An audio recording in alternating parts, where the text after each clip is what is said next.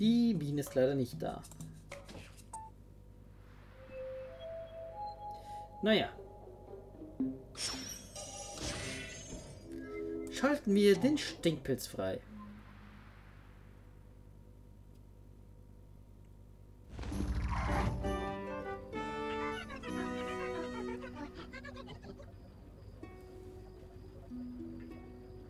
Meinen Daten zufolge war das Mittelalter eine Zeit geistigen Verfalls und moralischer Verwirrung.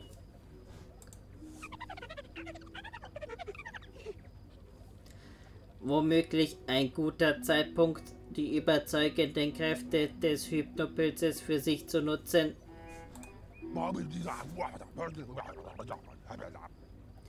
Gute Idee, Penny! Bekehren wir diese Frevler und zwar auf die mittelalterliche Tour!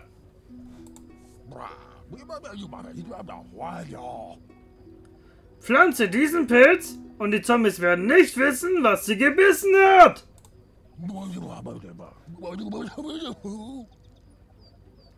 Bis sie merken, dass es ein anderer Zombie war. Unglaublich, oder? Okay. Weg mit den Gräbern. Und her mit den Pilzen. Die kenne ich auch aus dem ersten Teil noch.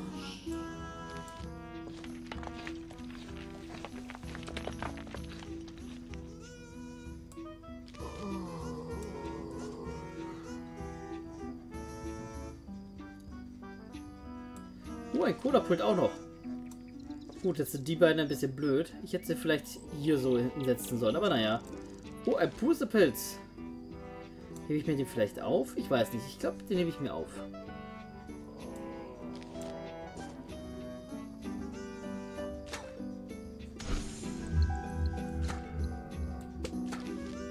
Ähm, ich setze jetzt hier. Die ersten drei Reihen werde ich jetzt äh, freilassen.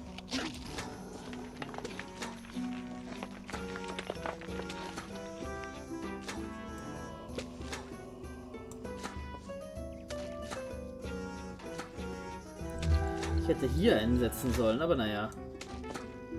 Der wird noch aufgehoben.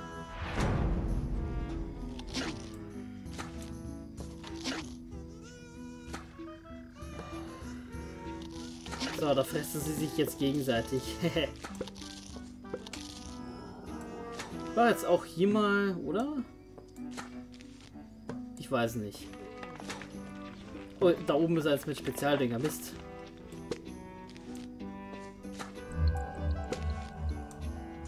Mach ich mal einen Pustepilz hin.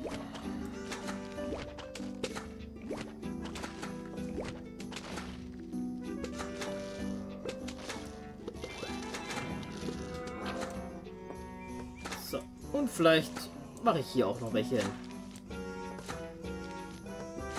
Ah, da warte ich noch.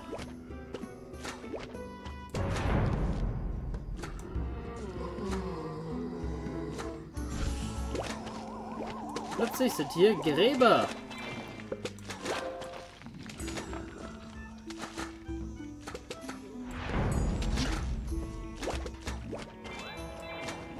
Was macht das eigentlich?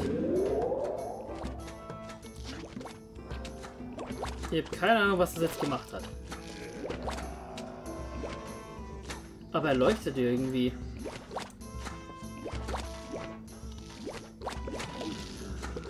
Es sind gerade keine Gräber mehr da.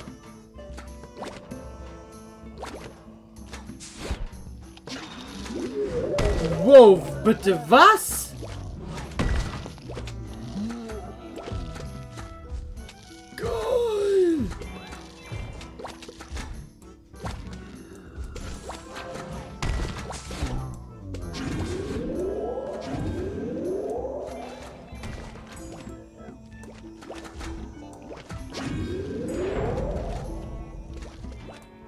Nekromantie.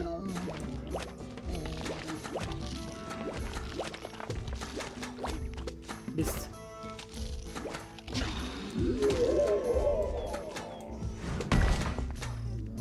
Weg. Einfach weg.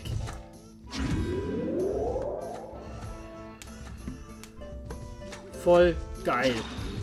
Haha.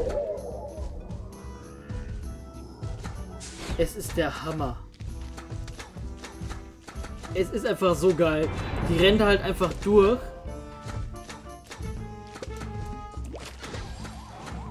Zack, weg.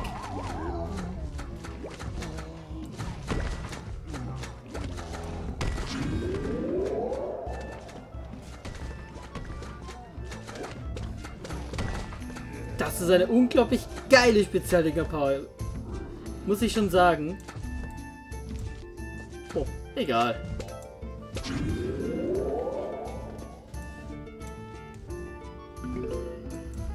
So, jetzt haben wir den Stinkepilz.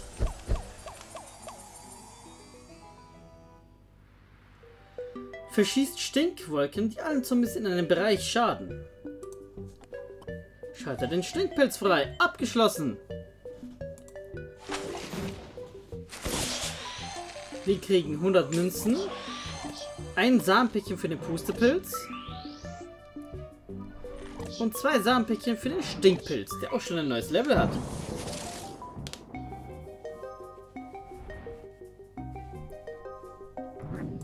So, neue Aufgabe. Schalte die Sonnenbohne frei.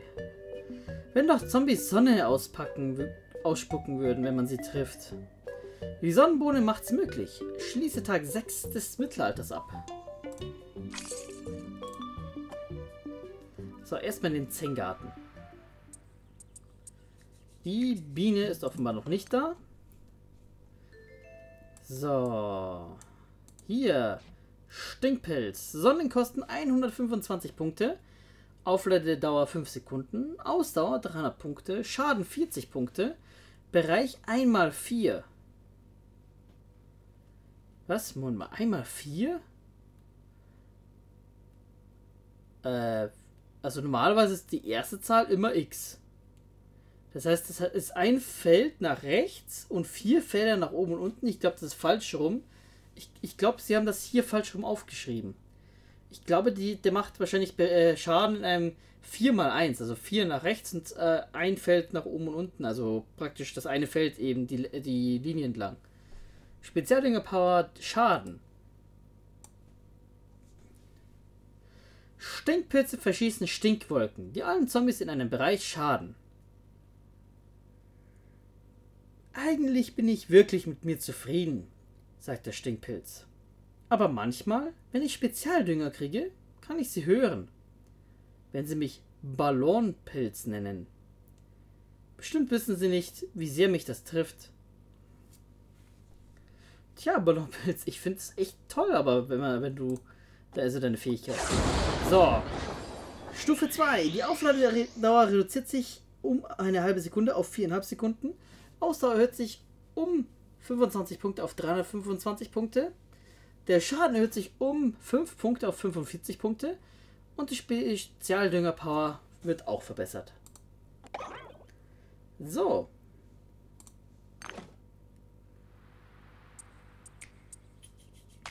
Biene ist immer noch nicht da. Dann machen wir weiter.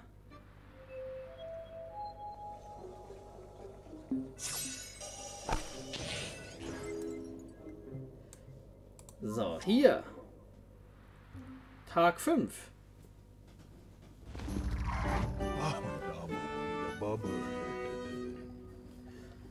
Dieses düstere Mittelalter stinkt mir gewaltig. Ich glaube, ich werde krank davon.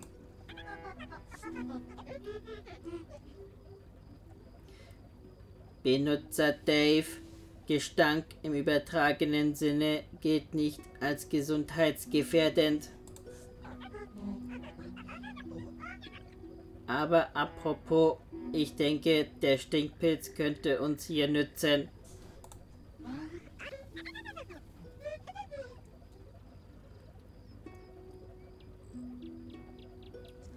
Sein Gestank ist nämlich real und gegen bestimmte Zombies genau die richtige Verteidigung.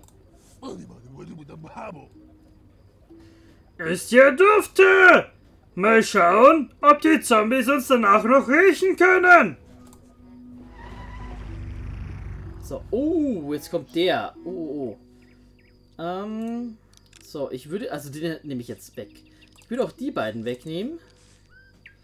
Stattdessen nehme ich den Pilz mit, den Stinkpilz. Oh, ich nehme mal die Ru Rübe mit. Das versuche ich jetzt mal mit der Rübe. Und ich nehme... Boah, keine Ahnung. Eisbergsalat noch mit. Stachelkraut und Kirschbombe. Los geht's. Sehr viel lila. so, ah, vielleicht hätte ich den doch... Moment mal. So geht's ja auch.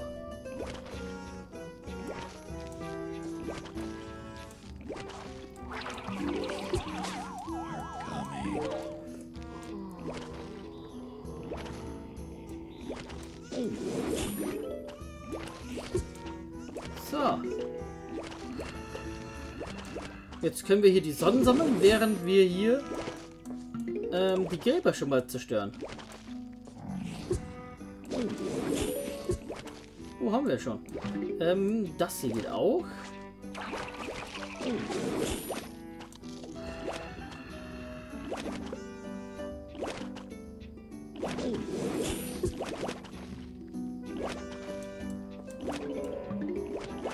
So. Jetzt bräuchten wir nur noch mal kurz Spezialdünger.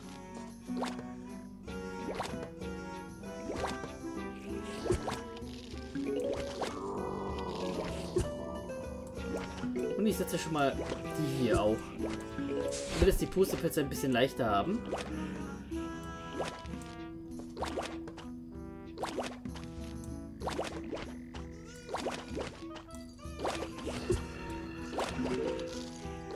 So, oh nein, nein, nein. Das ist nicht sehr gut. Genau deshalb ist es nicht gut.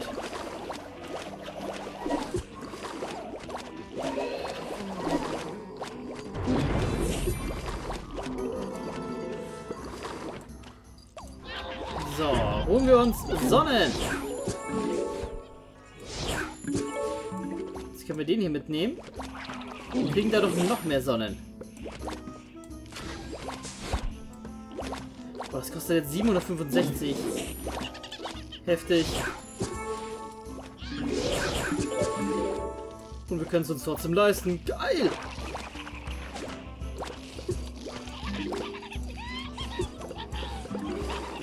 Glaube, ich habe ein bisschen zu viel Zeit verschwendet. Wieso ist da jetzt ein... Ein Grab? Fällt mir nicht so wirklich.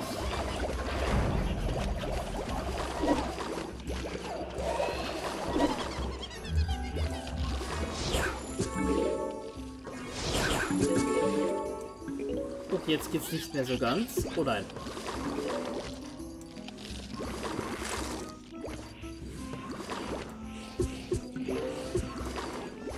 Nicht sehr gut. Darf ich nicht die Pustepilze zu setzen.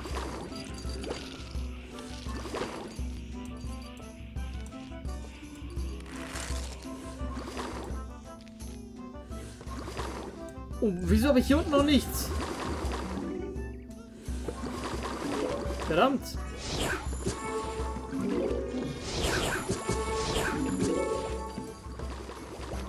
Nee, der ist dann weg. Wahrscheinlich. Ähm, ich lasse einfach durch.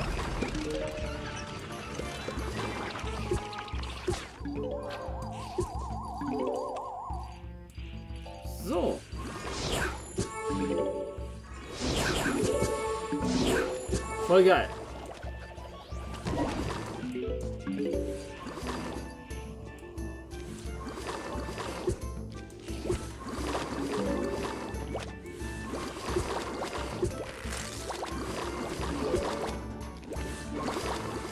Ja, Moment hier ist ja gar nichts mehr und wir sind ja schon fast fertig. Okay.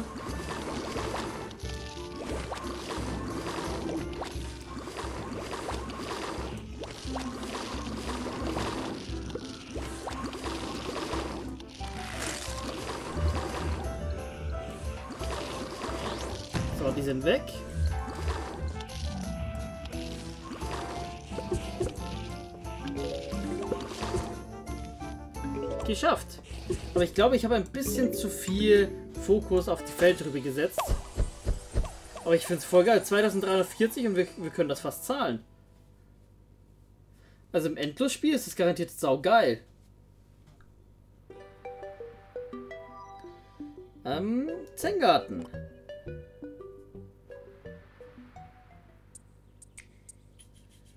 Da kommt sie, unsere Biene.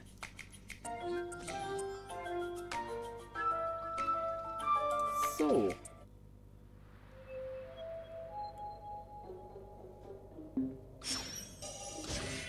Holen wir uns die Sonnenbohne.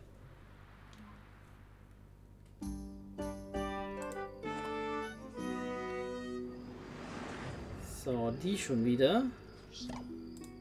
Also die Feldtrübe würde ich... Was? Ich habe 2000 Sonnen. Ich darf den Pustepilz und die Sonne nicht mitnehmen. Äh, und den Sonnenpilz. Mist.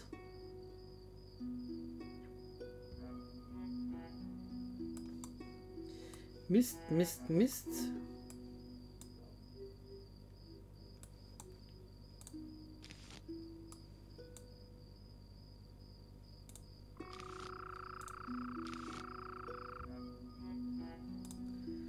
So, das muss eigentlich reichen. Aber ich glaube, ich darf auch nichts mitnehmen, was einfach nur 0 kostet. Ja. So, was nehme ich jetzt noch mit? Vielleicht die Kartoffelmine. Und irgendwas noch. Gut, ich hätte die Lavakörbe noch mitnehmen können. Naja, egal. So. Ihr kommt hierher. Ihr kommt hierher. Da mache ich tatsächlich zum Schutz einfach noch hier eine Reihe Kartoffelminen. Da vorne mache ich eine Reihe Stachelgras.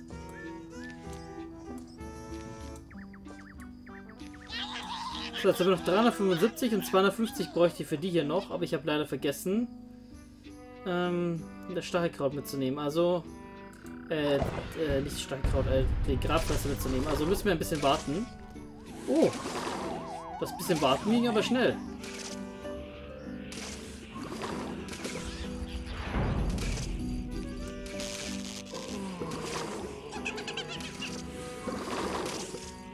Sehr schön. Sonnen fallen ja leider nicht. Aber egal. Haben wir hier ein bisschen mehr Verteidigung hier unten.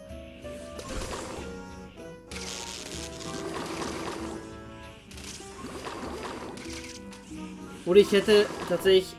Ich hätte hier nochmal eine Reihe Kartoffelminen machen können. Theoretisch.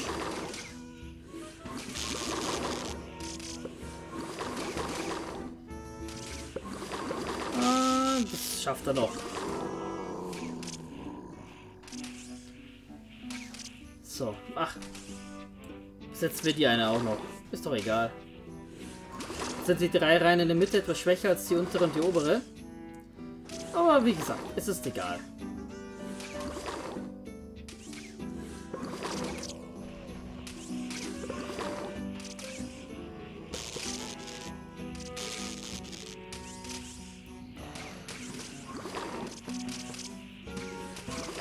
So. Plötzlich sind hier über Gräber. Und die Gräber sind weg.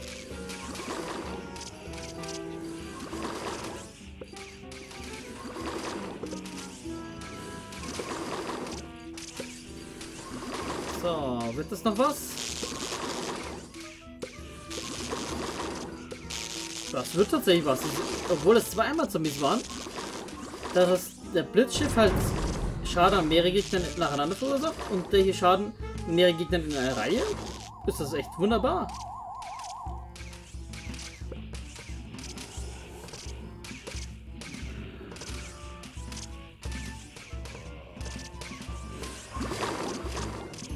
Und jeder von den Zombies muss natürlich über das Stachelkraut laufen. Das ist auch nochmal geil.